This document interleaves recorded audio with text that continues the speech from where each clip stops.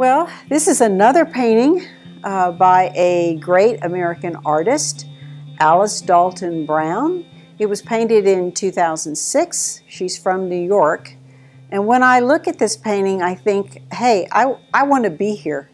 This shiny ocean and the bright waving flag just makes me think of fun days at the beach.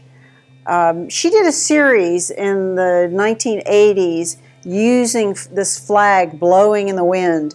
And I've got a book that's of her paintings, paintings by Alice Dalton Brown, and it has a large picture of, I think this was probably her signature work using the flag, but it's very reminiscent of this painting as well.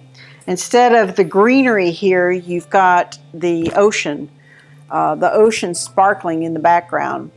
The title of this painting is Waves, and I don't know whether waves refers to the ocean or it refers to the waving flag. Uh, but a very lovely example of great American art by Alice Dalton Brown.